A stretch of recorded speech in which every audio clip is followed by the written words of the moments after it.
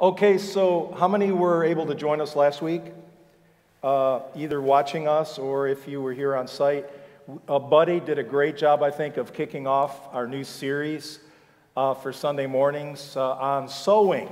Sowing, it was just something that was just kind of really in our hearts that we felt God wanted us to center up on. So uh, we do our best to follow His lead. We don't want to just be out caught doing our own thing because there's very little value in that, and we've just learned that it's always good to, uh, to follow his, lead and, and go the way he wants us to go. I'm sure many of you have found the same. But so I feel like I'm going to be referring to a few things that Buddy uh, said last week, but I feel like today's message uh, needs to have two parts to it. And the first part, we're going to focus more on, uh, let's just call them principles, okay? Some principles that God has put into motion. And the second part, uh, let's call that application, how those principles work. Uh, let's just say where the rubber meets the road, right, in our everyday lives.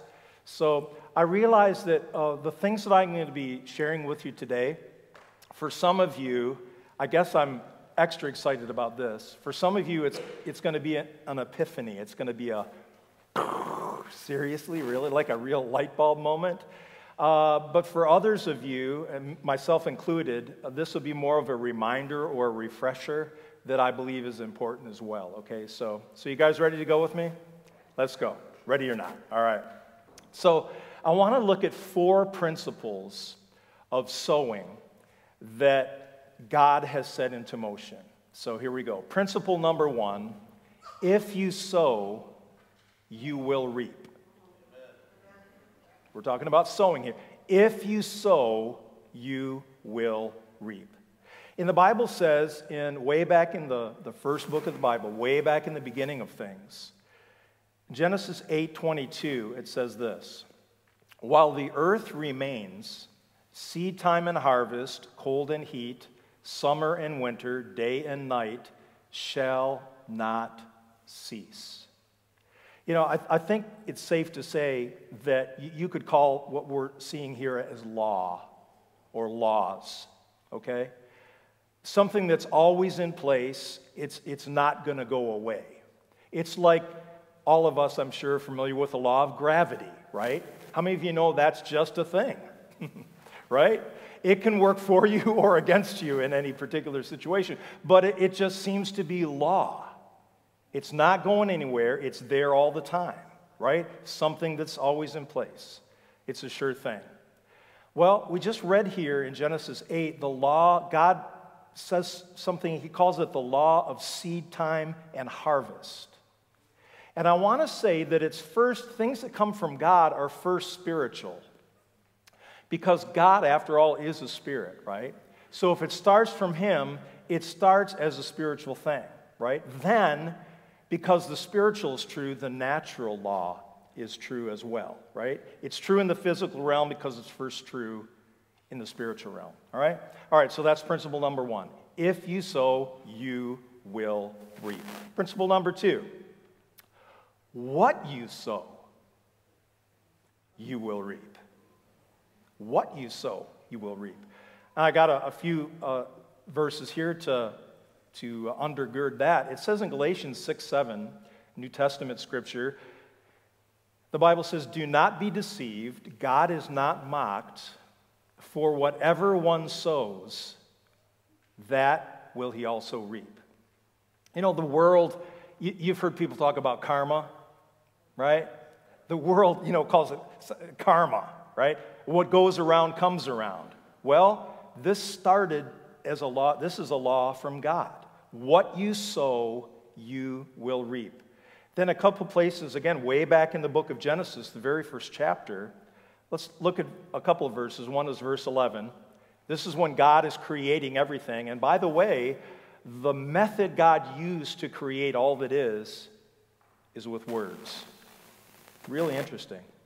It says in verse 11, Then God said, Let the land sprout with vegetation so he's creating all the vegetable life on the planet.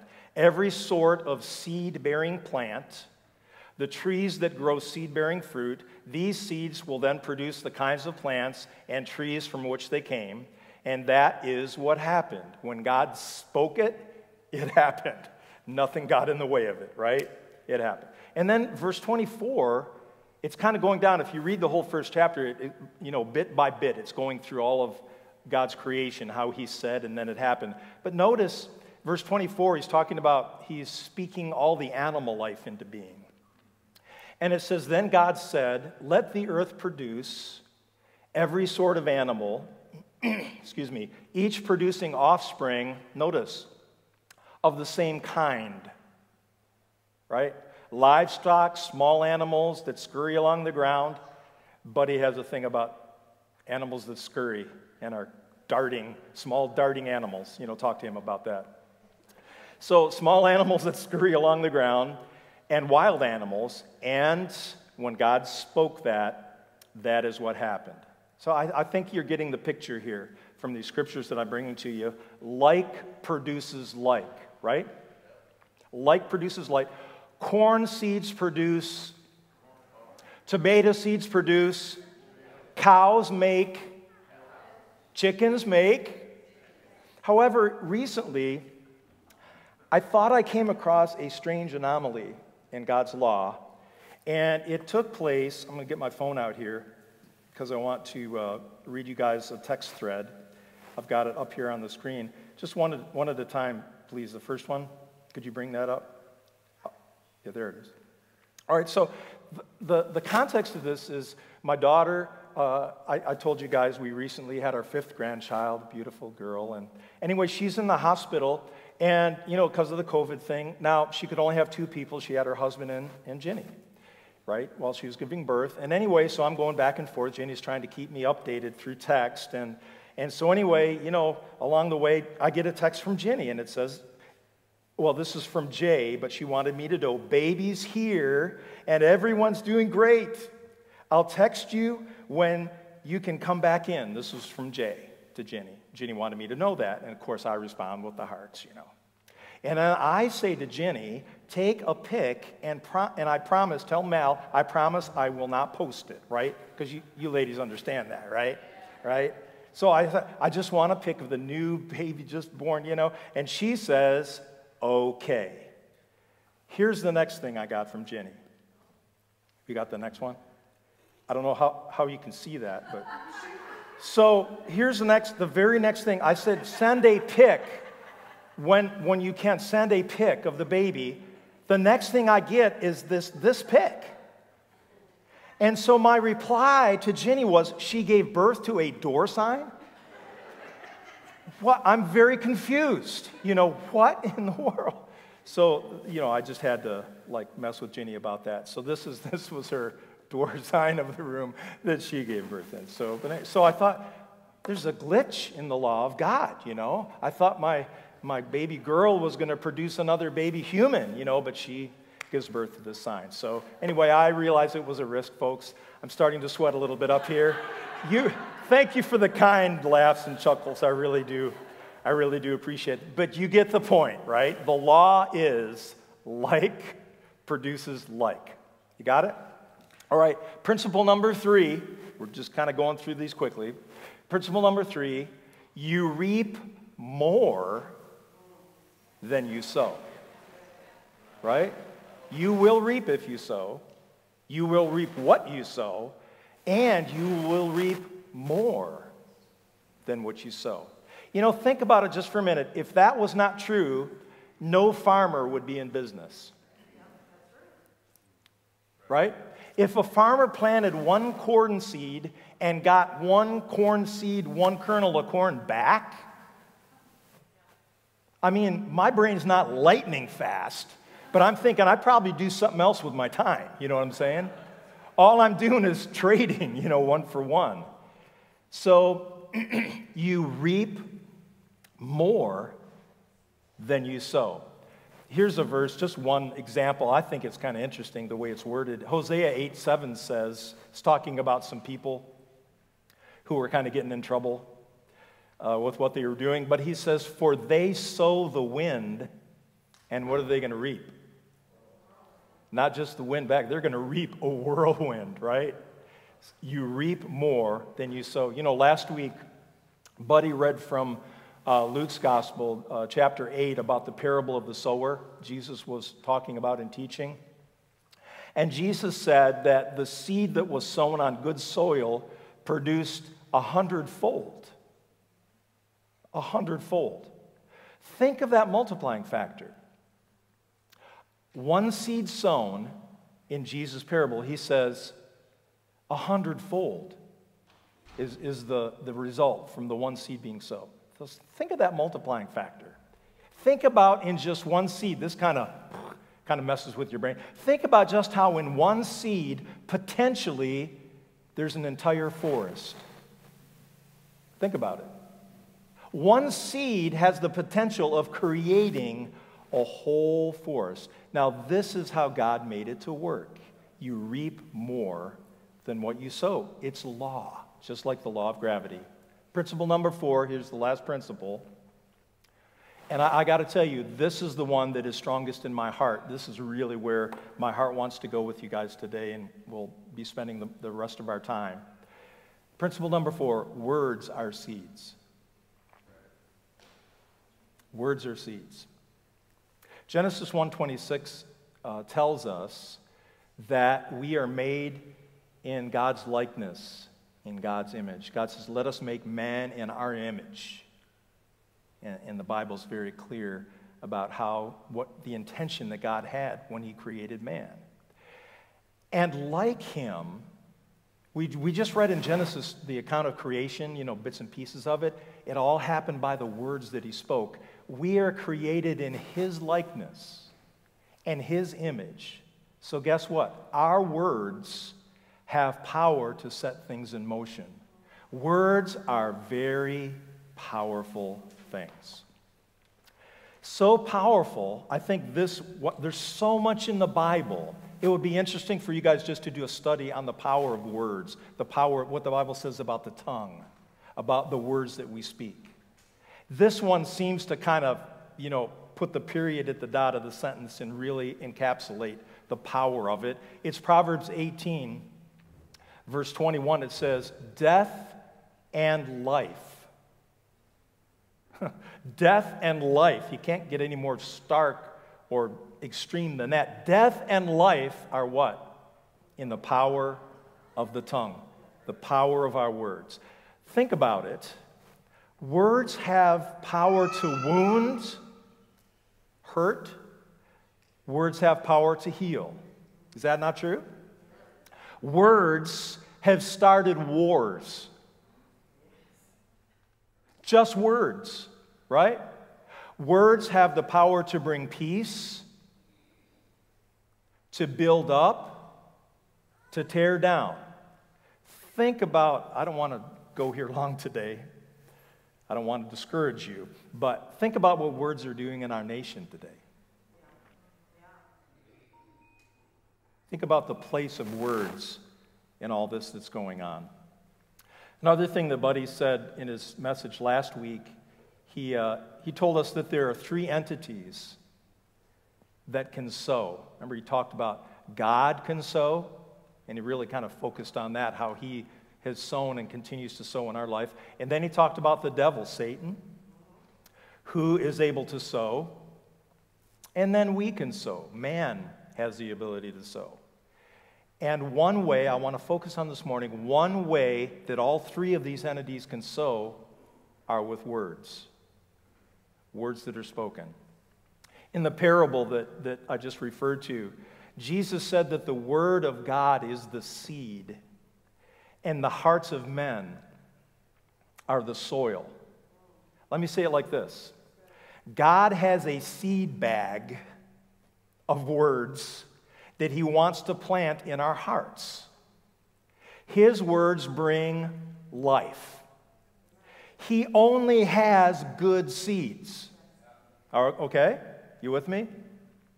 The devil has a seed bag of words that he wants to plant into our hearts.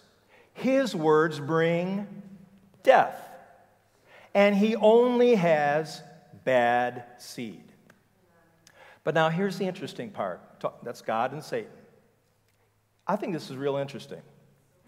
We, as humans, have the ability to plant seeds too, but unlike God and the devil, we can plant both good and bad seeds. Isn't that interesting? What power we have. Remember now, we talked about one of the principles the seed produces after its kind. Like produces like. It's the seed that determines the crop or the outcome. All right? Now, ready to leave classroom? That was classroom. Now let's go into the lab, shall we? I should have brought a white lab coat with me. But let's go and see how these principles from God and from His Word that He has revealed to us how they apply, how they work in our lives. And I've got two questions that I feel like will, will really serve us this morning, serve you to help us with that. Okay, question number one. Ready. What words are you speaking to and about yourself? Now, here's something very cool the way God designed it. Here's a little phrase that I came up with when I was thinking about these things God made it so we can self seed. we can self seed. We can, we can put seed into our own hearts. How do we do that? By the words we speak. So, what kind of seeds are you planting in your heart with your self talk? Remember, words are very powerful. Death and life are in the power of the tongue. In the book of James in the New Testament, it talks about the power of the tongue. It sets on fire the course of things, right?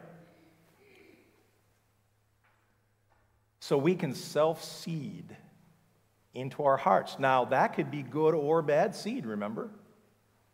So, what kind of seed are you planting by the words that you speak? Into your own heart. There's an interesting uh, Bible word I want to uh, bring to you guys this morning. Again, this might be a refresher to some of you, might be new to, to, to others, but it's a word you come across when you read, especially in the New Testament. It's the word confession. Now, when I say confession, uh, I think most of the time we go negative with it. You know what I mean? We connect it with confession of sin, right? Or if, you know, some folks were raised in the, in the Catholic Church, you know, there's a thing that it's actually called going to confession, right? And you go in and you go in to have a session with a priest, you know, it's uh, anonymous, so they don't know who it is, and you, you confess your sins, right? Well, what do we mean by that when we say confess our sins? What we mean is we're admitting, right?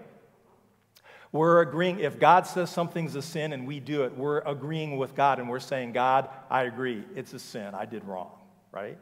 And the Bible does teach that. If we confess our sins, 1 John 1 9, He's faithful and just, thank God, to forgive us of our sins and to cleanse us from all unrighteousness, right? Okay, but, but now that's just the negative side of confession. Did you know that there's a positive confession? Not just confessing the sins and the, the terrible, the dirt and all that, you know, so that, you know, God can forgive you and, and, wipe you clean. No, there's a positive side. You know what? Confession literally means, and it's a Greek word here, I'll throw it up on the screen for you guys. It's homologeo. I just like to say it. But look it up, homologeo, and it's really like a lot of Greek words, it's composed of two words put together homo meaning the same, and logeo meaning to speak or to say. So, homologeo, that's the word for confession. It literally means, its simplest meaning is to say the same thing as. Okay? To agree with. So, here's what God wants for your life He wants you to speak to yourself what He says about you. He wants you to, here it is, He wants you to agree with Him about yourself. There's where the life is. You know, John 6 63, I just wrote it down to quote it to you guys.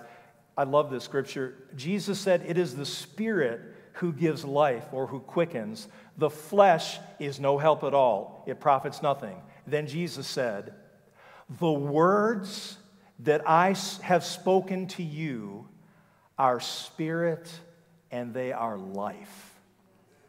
So anything that God would say about you is filled with life. There's no death in it. Remember, He only has good seed, right? So uh, anything God would say to you or about you, it's only life. And that's why God wants you to agree with Him. Because, you know, we can speak words that are not of life about ourselves.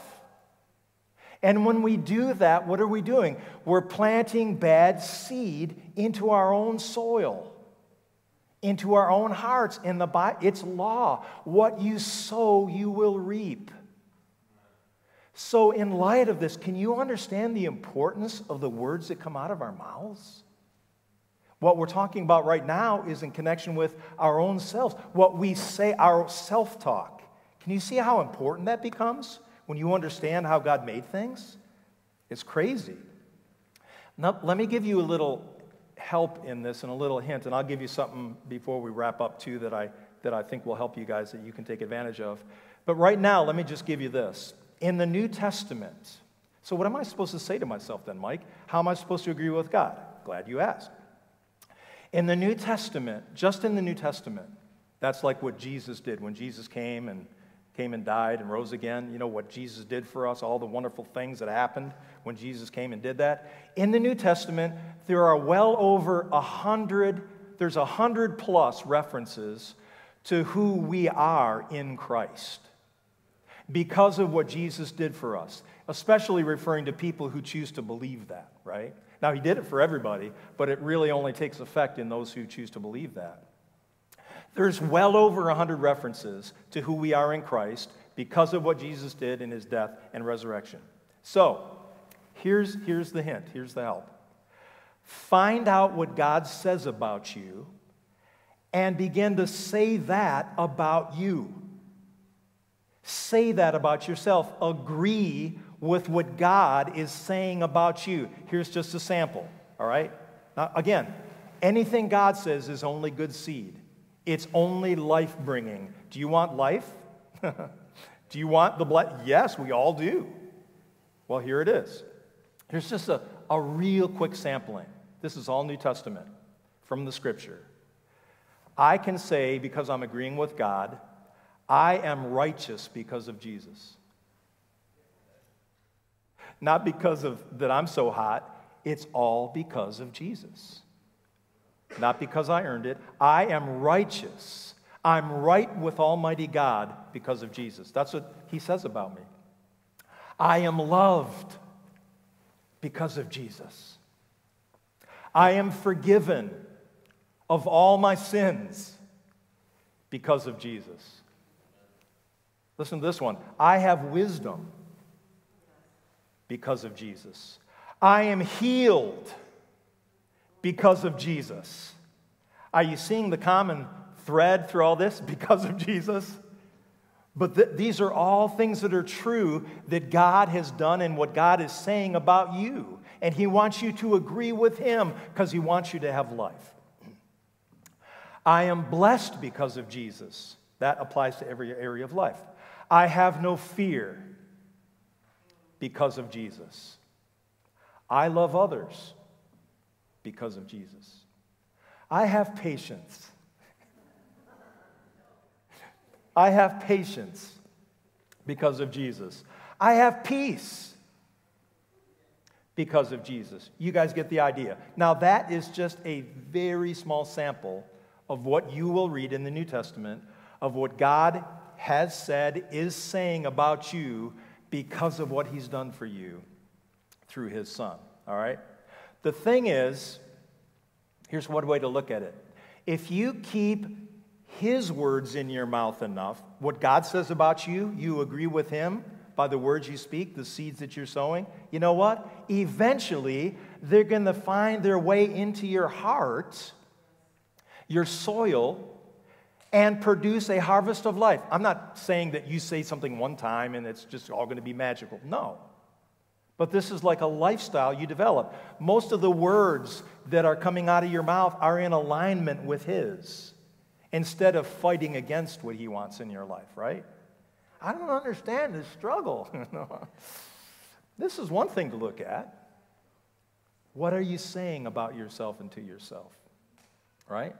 You know, I, I remember one guy, uh, a minister, uh, when I was young in ministry, he said this. He, he kind of grew up in, they invented games to play, you know, kind of out in the country and all. And, and they liked having BB fights, except it wasn't with BB guns. They put the BBs in their mouths.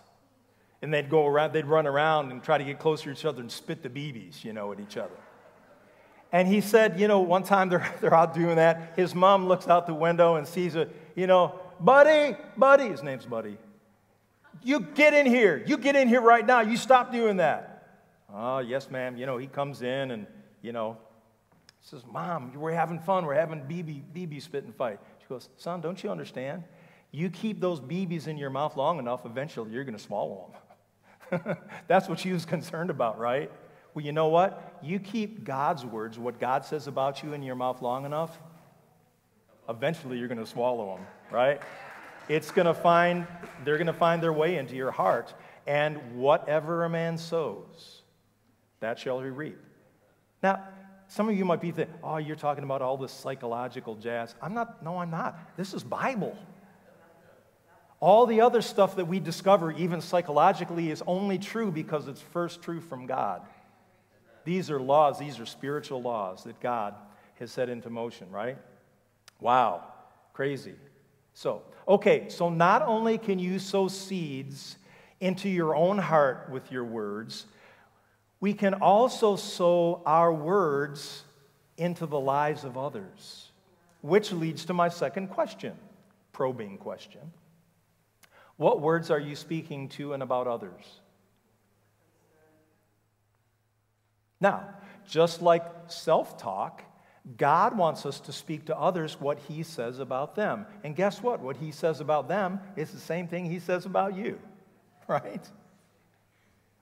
And He doesn't want you speaking to and about people things different than what He's saying, right? I can see some of the light bulbs turning on with some of you. Others are right, yeah, I haven't thought about this in a while. Okay, cool. Success. All right? So, what words are you speaking to and about others? Um,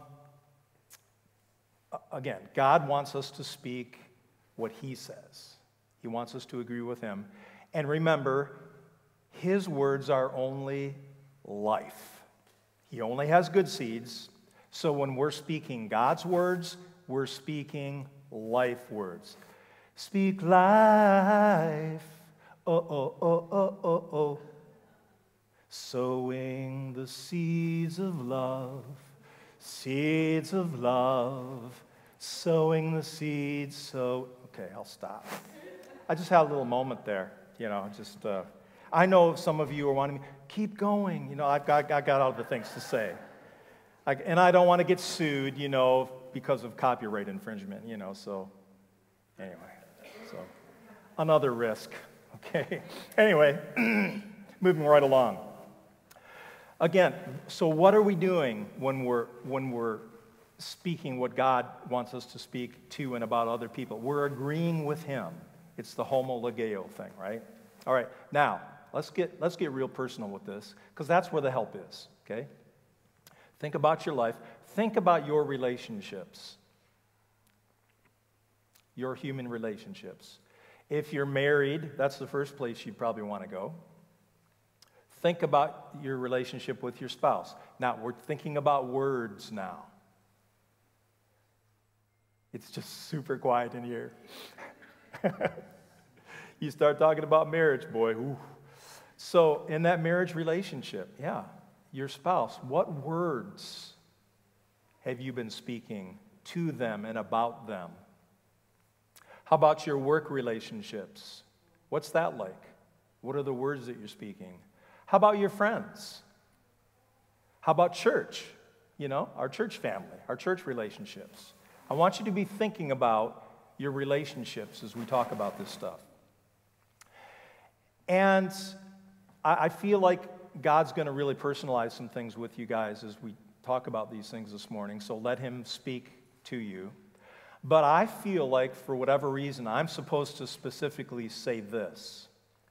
I'm convinced that to a large degree, our children are the product of the words that we speak to them and about them. I'm convinced of that.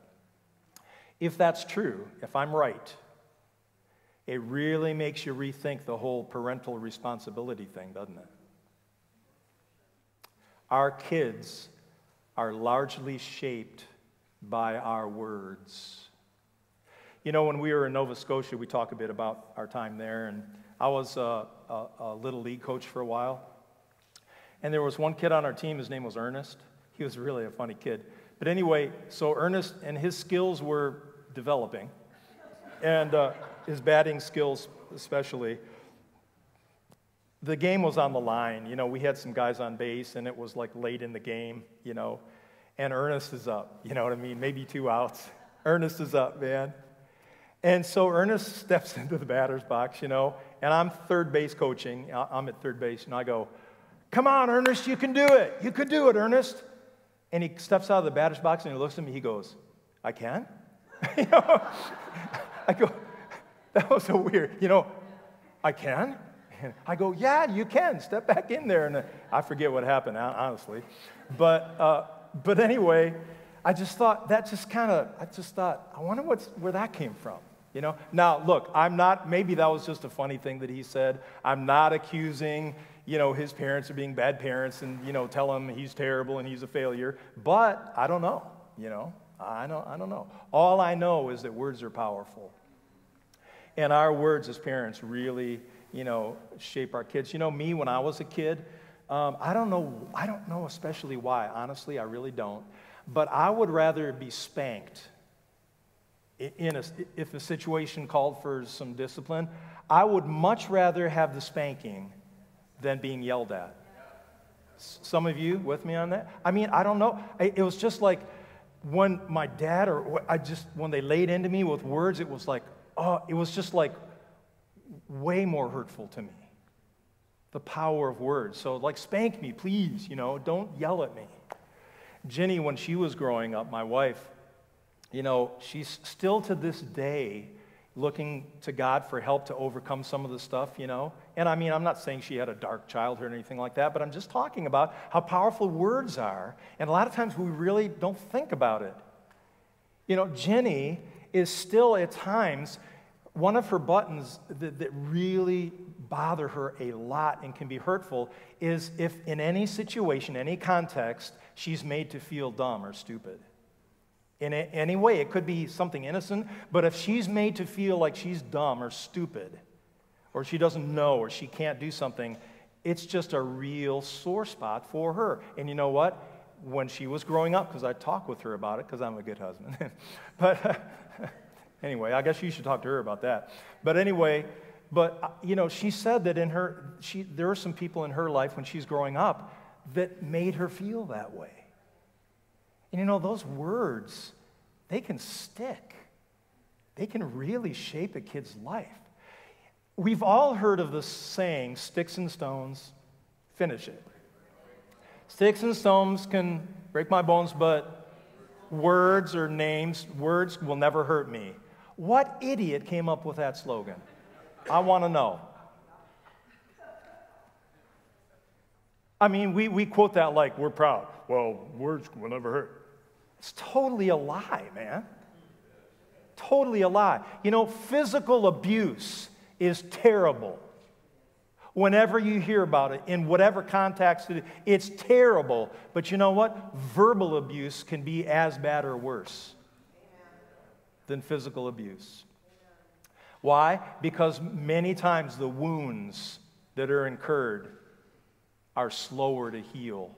And you know what? Some, and you, maybe you can relate, maybe you know some people in your life that can relate to this. Some never have found healing from words long ago Some of you are, are in the process of struggling and trying to overcome some of those words that were not words of life, words of death and words of hurt spoken into your life, all right?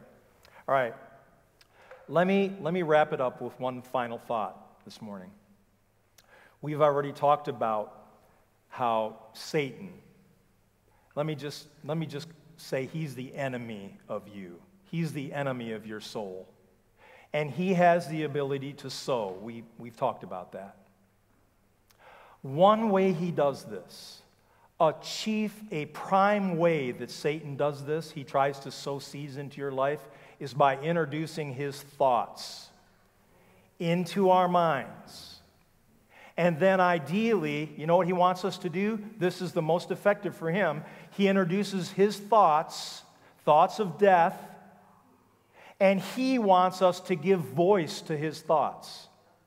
He wants us to agree with him, homologeo, but on the dark side. That's what he's after. He knows the power of your words. He knows that by what you say about you, it can plant those seeds into your own heart. He knows that, right? So he, he introduces those thoughts. We all know what that's like. And he wants us to give them power by speaking them out. You know, I, I like what somebody said. Um, I think there's truth in this. They said, thoughts unspoken and not acted upon die unborn. Let me say that again. Thoughts unspoken or not acted upon die unborn. And then I heard this kind of came back to my mind as I was thinking about these things. Someone said, You know, a bird can fly over your head, but that doesn't mean you have to let it make a nest in your hair. Right? So, look, a lot of thoughts that go in and out of your mind, they didn't come from you. Now, you can generate your own thoughts, you can start that, but they, Satan can try to be planting seeds. Other people's words, they can plant thoughts and words, right? So you cannot totally control that, is what I'm saying. You can't totally control every thought, every word that tries to enter your life, but you don't have to let the bird make a nest in your hair. You don't have to receive those words. You don't have to grab onto them. And certainly you do not have to repeat them and give voice to them. The point is, we have the ability, thank God, to reject words the devil and others speak to us that are not aligned with God's words. We can reject them. We can we have control over that. But I'll warn you, I'll just tell you right up front this will take some time and effort to overcome. You know, the Bible, the Bible speaks of it as a process. One way it puts it, it calls it the renewing of our mind, right? Renewing how we think, change the way we think. Did you know that the word repentance doesn't mean get on your knees and cry and feel sorry? The word repentance, the Bible word, means to change your mind. Now, the change of behavior comes out of that, it follows that. But repentance, in its truest sense, is changing your mind about that thing. So, God wants us more and more. That's what, why He's given us His words. He wants us to change our thinking, He wants us to change our speaking more and more to agree with Him, because when we agree with Him, we're agreeing with life. And we're planting life seeds that will have a life harvest. Are you with me? All right? So we can reject those things, those words that are not from God, that don't agree with God. You know, the Bible puts it another way, and I want to give you one last scripture here. the Bible talks about guarding our hearts. What did Jesus say our hearts are? The soil in his parable, right? Among other things, our hearts are like soil Words are seeds. Well, the Bible tells us that we need to guard our hearts, protect our hearts, the soil of our heart, from wrong seeds being planted and growing into a crop, right? Proverbs 4:23, here it is. Guard your heart above all else. In other words, I kind of feel a serious tone here, don't you? It's like above all else. Guard your heart above all else. Why? What's, what's the big deal? It determines the course of your life. Why? Because it's soil and it's made to receive seeds. So guard your heart. Guard your heart. Out of it determines the course of your life. Okay? Remember, your heart produces what is planted into it, good or bad. You know, I shared with you guys, uh, I don't like talking about it a ton, but it, it's still a little raw. But with my mom in the later years of her life, she was diagnosed with dementia, and uh, our relationship was, was rough. And as much as I love my mom with all my heart, and I knew that she loved me probably more than I love her, you know, I knew that. And yet, what my mom was turning into was not my mom. And sometimes, you know, we'd have interchanges of words, and sometimes the words that would come out of my mom's mouth that I, even though I knew it really wasn't her, she was changed and it was messed up. I'm telling you what, some of those words, I would walk away from that and I'm like, I'm shredded. I'm wounded. Especially, you know why? Because the ones that we love most, we tend to be more, more vulnerable around, right? We tend to be, our soil tends to be a little more ready and more vulnerable. And when, the, when those wrong words come, oh man, it just, it hurts extra. If somebody at work may have said something, well, yeah, that doesn't feel good either, but man, somebody that you love, it just hurts more. And so, you know, I actually, I actually came to, to a, uh, there's one point where, of course, I'm praying and I'm looking to God for help along these lines, you know, in the midst of all this. And I really, honest to God, feel like I got a word of wisdom from God. And at one point, He said, Mike, protect yourself. And part of me wanted to like reject, that can't be God. Protect yourself from your mother? I mean, she's supposed to protect me, you know? But I, you know what? When I, when I grabbed a hold of that, I thought, you know, this is wisdom from God, right? He wasn't saying reject your mother. He, he knew what was going on here. He knew the power of those words. He knew they were seeds, and he knew the vulnerability of the soil of my heart in, at that time in my relationship with my mom. And he says, Mike, protect yourself. So, from that, and that helped because there are some times where the words started to come. And, you know, I said, Mom, you know, before it even, sometimes I messed up and I was sucked into it, sucked in by the devil, and he just loved it. You know, me and my mom going at each other. He's just standing over here. just what I wanted to do, right? But, you know, but there are times with God's help where I saw what was going on, and before it started, before it went very far, I would just, I said, Mom, I'd lean over. I, she's like just really fueling up and just ready to go. And I just lean over, kiss her on the cheek, and said, Mom, I love you. I got to go now. And I would just walk away. Protect yourself. See? You guys understand the context of that?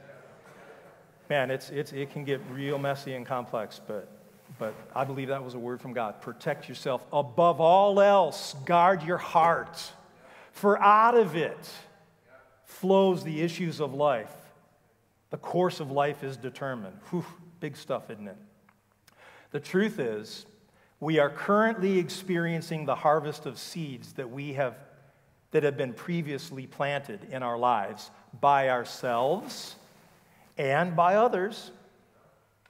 So, if here's the moral of the story if you're not crazy about the harvest you're experiencing, change the seeds you're planting and allowing others to plant into your life. Could you imagine driving, you're driving by, you know, out in the country or whatever, and you see a farmer, you know, he's out there, and or maybe you're on a bike ride or something, and the farmer's standing there, look at just hands, hands on his hips, looking at his farm his uh, corn crop, you know. And he's standing there, and, and, and you kind of drive by, and you just kind of nod, and you notice he's just sobbing, he's crying. And so you think, what in the world? So you pull over, you know, and you go up to the farmer and you say, Is everything okay? What's wrong? It's my corn, my crop, and uh, he's crying. Oh, what? You got a beautiful corn. Everything looks healthy and good. That's the problem. I don't want corn.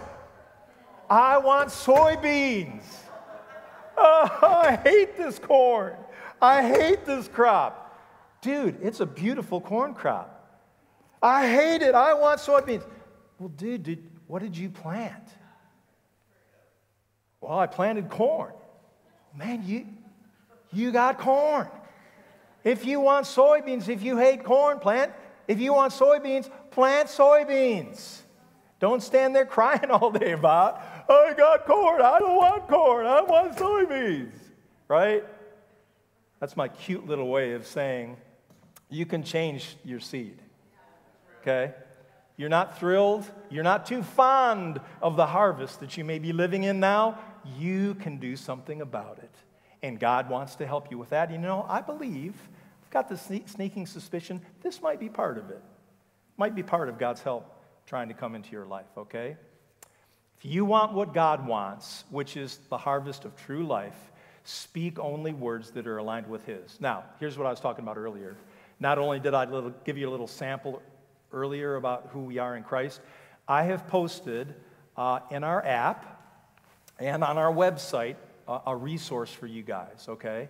A lot more than I just gave you earlier with scriptural references attached to it. And so um, I, I, I, posted this for you guys, um, saying what God says about you with Scripture. All right? It's on our website. It's under current info. If you go to our website, current info, under weekly announcements. I don't know. I guess we could have put it somewhere else, but I stuck it there. Weekly announcements. And there's a link there that you can click on and you'll get what I'm talking about. And also, you guys got our church app, the Faith Street app. Um, if you go, uh, if you take that app out and then you, you can pull up the menu bar and it says this week, I posted it there. If you got your app now, you can actually do that and you'll, you'll find it there. You can hit the link, it'll bring that up for you. You can download it. And uh, I wanted to do that as, as a help to you guys, okay, to kind of get you started. All right. All right, well, let me close in prayer, and then we've got a couple more bits of info to some exciting stuff to share with you guys. Father, I just thank you for um, the time that we've been able to share today. And I just thank you for your direction, how you led us today to talk about the power of words.